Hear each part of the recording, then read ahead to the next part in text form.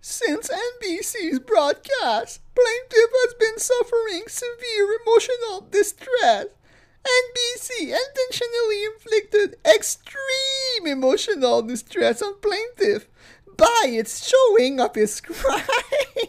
At least he admits it's a crime on NBC's Dateline report. Uh, one of the many adverse effects from the above scenario is that the plaintiff has become depressed and has developed EDD. The minor female decoy with whom plaintiff chatted was surprised by the police that he was at a vulnerable stage in his life. NBC was also aware of his vulnerability before airing his crime.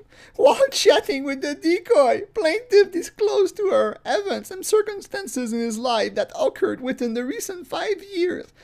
For example, said previous live events led plaintiff to sell his home, then move away from his family and friends where he lived alone with his dog. When the decoy successfully lured plaintiff to the sting house, plaintiff was continually harassed, which was aired by NBC. What the fuck is he talking about? Plaintiff asserted there is sufficient evidence to support his emotional distress and to have his case brought to trial. In addition to the few previous claims, NBC committed negligence against the plaintiff. Negligence is the failure to exercise a degree of care which a person or ordinary prudence would exercise under the same circumstances. The term refers to conduct which falls below the standard established by law for the protection of others against unreasonable risk of harm.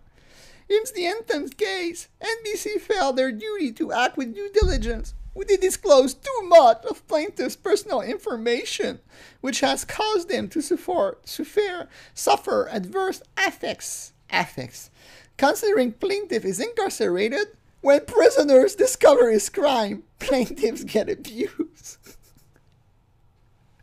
and NBC exercised due diligence and discretion. Plaintiff would not be suffering abuse from other prisoners.